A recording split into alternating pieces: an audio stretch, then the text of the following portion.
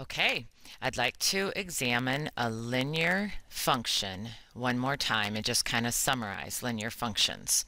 So first of all, the, the equations we've done prior to now looked something like y equals 4x and y equals 2x minus 3. And I mentioned to you that I knew that those were linear equations because y was raised to the first power and so was x raised to the first power in the equation. So they have equal signs. Look at this one. 2x plus 3y equals 6. So it is an equation. The term that has x in it has 1 for an exponent. It's understood to be 1 when it's not written. And so does the y term. So I want to graph this linear equation, but I it's not in this form, y equals something. So first of all, I could get it in that form so that I could more successfully put it into my graphing calculator. That would be the only way to do that. So let's go ahead and do that.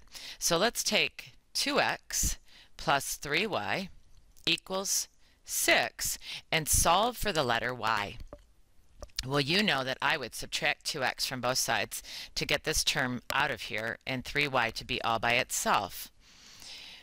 Then I'll divide by 3 in order this to become y equals something. I kind of like to put my x term first here, so I'm going to put a negative 2x and then the plus 6. The 6 is positive, so I'm going to do that like that. And then finally, I'm going to divide both sides by 3. And when I do it on the right-hand side, I'm going to divide both of those terms by 3 so that I can see the fractional number that's in front of x. And then if this were a fraction, that'd be fine, but 6 divided by 3 is 2, and that's just a little bit easier to type into the graphing calculator. Plus, in the future, we're going to talk about graphing this equation as it is, and it's now in slope intercept form. But let's go ahead and graph the function that we've just rewritten and let's pick some values for x that will be nice to work with. So you've noticed that I like to use 0 because a negative 2 thirds times 0 is nothing. And then when you add 2 to it, you get a positive 2. That's called the y-intercept this 0 comma 2 ordered pair and right here it means I go nowhere in the x direction but I go up 2 in the y direction. That's one of the ordered pairs in this equation. Do you see this equation written in this form? That 2 will always be that y-intercept. If I tried a 1 right now for x, it wouldn't work so nice because a negative 2 thirds times 1 is a negative 2 thirds. So I'd have a fraction that's negative and I'd have to add a whole number to it. So you see this denominator of 3?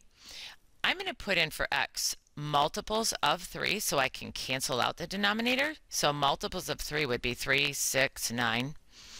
So I'm going to go here now and put a 3 in for x. And when I do that, this 3 and this 3 cancel out. It would have been a negative 2 thirds times 3, which would have been a negative 6 thirds. And a negative 6 thirds is a negative 2.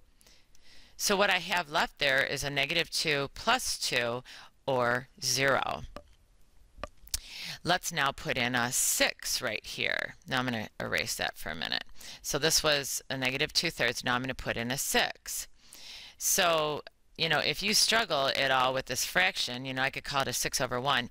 You could go straight across here and call this a negative 12 divided by 3. This negative 12 divided by 3, which is a negative 4 and then you add 2 to it, and you'd get a negative 2. Of course, don't forget that you've got this tool. Let's see if I can put it right here.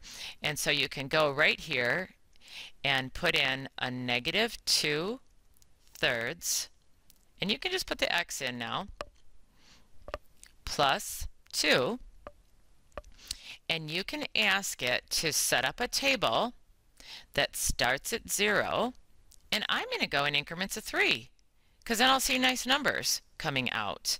And then I'll go second and hit the graph key. And there's the 0, 2 that I just found right here. Here's the 3, 0. Here's the 6, negative 2. And this 9 right here would be a negative 4.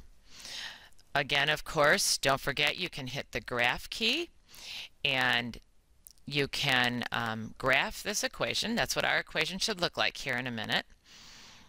And so let's go ahead and do that. So when x is 0, y is 2, we've already got that. when x is 3, y is 0. When x is 6, so I got to come over here, y is a negative 2. And it'd be hard for me to graph the 9 and down 4. But nonetheless, this does look like a straight line. And it does look like the line, I'm going to try that again.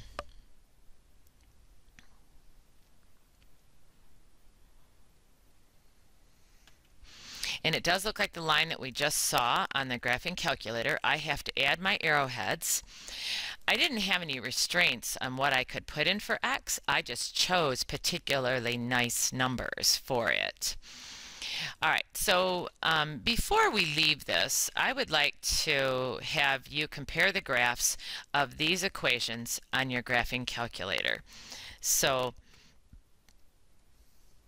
we're going to go ahead, and I might expand the calculator a little bit. So let's go in here and hit clear and let's graph y equals 3x. You know, I want you to remember that I've set my window to go from a negative 10, 10 with um, tick marks every one unit, negative 10 to 10.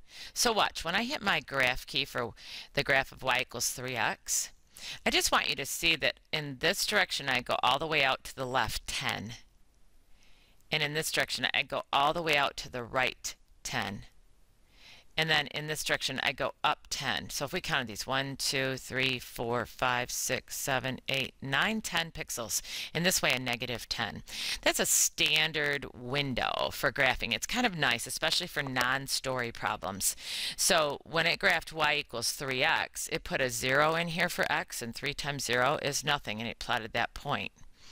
And when it put a 1 in here for x, 3 times 1 is 3. So it went to the right 1 and up 1, 2, and right there is a dot. Right there is a dot. And over 2 and up 6. Um, let's go ahead now and graph y equals 2x right alongside. And that 2x is going to come in next. And I'd like to share with you now that the number in front of x impacts the slope of the line, how steep it is. So the 3x was this steep line, and the 2x was a little bit less steep. And then I'm going to go ahead and put in, in the third entry, y equals 0.5 x. And watch how that one's getting to be kind of flat because that slope is so small. And finally let's go in and put in 0.1 x and hit the graph key and you can see almost a flat line very very in, lightly inclined slope again remember that's because here when you set up a table of values um, and you put in 0 for x, you get nothing. When you put in 1 for x, 3 times 1 is 3. When you put in 2 for x, you get 6. But watch this one right here. When you put in 0 for x, a half times 0 is nothing. But when you put in a 1, 0.5 times 1 is 0.5. Look at this 1 and that 3. 1 and 0.5, much smaller y number. You put in 2. 2 times a half is 1. Here it was when x was 2, y was 6 x was 2, y is 1. So the, the change in y is not as great as here in this 3x equation. When I put negative signs in front, I just want you to notice, and I'm going to see if I can just go ahead. These were all positively sloping lines. They slope from the lower left to the upper right. Um, I would like to go in now, and I'm going to insert negative signs in front of this. So to insert, see the INS above the, above the delete key? I'm going to go second and insert. So right here in front of the 3, it's kind of blinking. It's got a flat line there. It's blinking. I'm going to insert a negative sign. And watch when I hit the graph key. Here comes y equals negative 3x. That's a negatively sloping line, whereas the rest of these are positively sloping lines. So that 3 is still as steep as the other one was, but it the y values drop down for every increase in x value in that negatively sloping line. If I came here and inserted, oops, let's go second insert um, a negative sign in front of 2x and I hit that graph key. There's the negative 3x here comes the negative 2x but these other ones are positively sloping lines. In summary in terms of linear equations. I just want to remind you that the domain of a linear function is all real numbers. That's what I like to write for that. If you wrote this um, in interval notation, you could say it's anything from a negative infinity to a positive infinity. I'm not going to use that so much, but it is common in a more theoretical math, math class. You can write the phrase out, all real numbers. And then what's the range of a linear function? Same thing. Anything can come out of that. You can write that symbol. You can write this. You can spell out the phrase all real numbers.